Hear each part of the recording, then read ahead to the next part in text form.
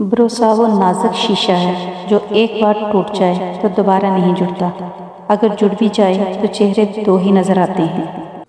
रसूलुल्लाह सल्लल्लाहु अलैहि वसल्लम ने इरशाद फरमाया, क्या मैं तुम्हें न बता दूँ इस शख्स के बारे में कि जिसे जहन्नम की आग पर, नीज जहन्नम की आग को इस पर हराम करार दिया गया है?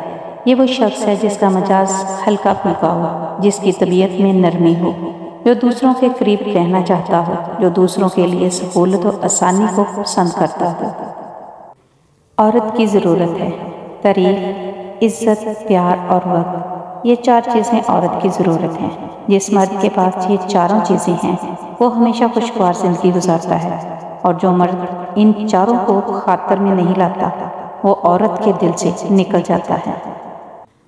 रिश्तों की खूबसूरती एक दूसरे की बात को बर्दाश्त करने में है। बेऐब इंसान तलाश करोगे तो तनहा रह जाओगे। अगर आप किसी से हसद नहीं करते तो खुशी का आधा हिस्सा आपके पास है। और अगर आप दूसरों की भलाई चाहते हैं तो ये गोया सब का सब आपके पास है। कुरान पाक वो नूर है, जो ज़िंदगी के अंधेरों में रोशनी दिखाता है। इन लड़कियों में से बने, जो घर से निकलते वक्त मेकअप नहीं, वज़ू करके निकलती हैं। कभी कभी अल्लाह हमें खुद से करीब करने के लिए भी कुछ बेकरारियाँ दे देता है, कुछ ख़ास अदासियाँ जिन्हें अल्लाह से कहकर ही सुकून मिलता है।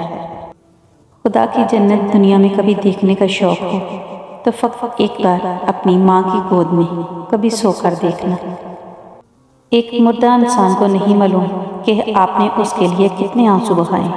लेकिन एक ज़िंदा इंसान को मरते दम तक याद रहता है कि आपकी वजह से उसने कितने आँसू बहाए। कदर कीजिए, क्योंकि सच्चे रिश्ते एक बार खो जाए, दोबारा नहीं मिलते। बात हमेशा तमीज़ से और एतराज़ दलील से कीजिए, क्योंकि ज़ुबान तो हैवानों के मुँह में भी होती है, मगर वो इलम और सलीके से महरूम होते हैं।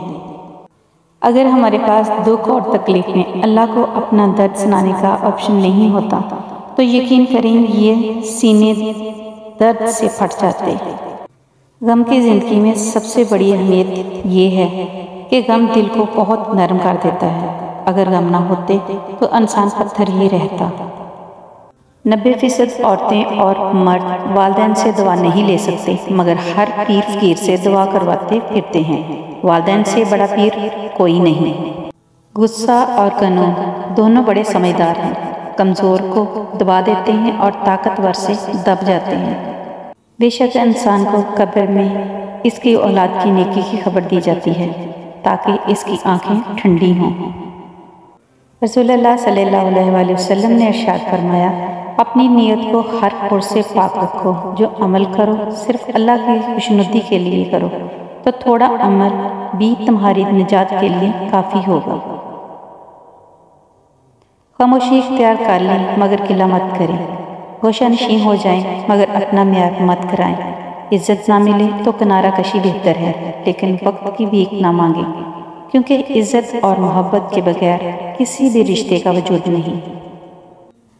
ए नबी सल्लल्लाहु अलैहि वसल्लम, मेरे बंदों को खबर दे दें कि मैं बहुत दरगुजर करने वाला और रहीम हूँ।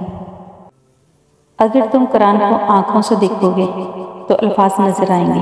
दिमाग से देखोगे तो इलम नज़र आएगा। दिल से देखोगे तो मोहब्बत नज़र आएगी। और अगर अपनी रूह से देखोगे तो तुम्हें खुदा नज़र आएगा।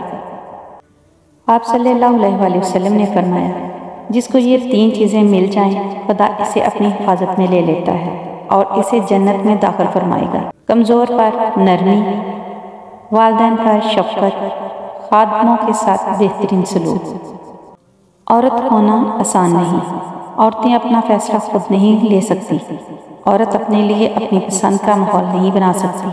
औरत खुद को बेगुनाह साबित नहीं कर सकती सवाए अल्लाह पर मामला छोड़ने के।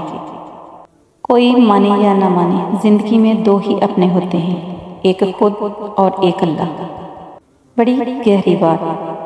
एक लुकमा पेट तक पहुँचाने का कुदरत ने कितना इंतज़ाम किया है कि गर्म है तो हाथ बता देते हैं, सख्त है तो दांत बता देते हैं, कड़वा या तुर्श है तो ज़ुबान बता देती है, और अगर बासी है तो नाक बता देता है।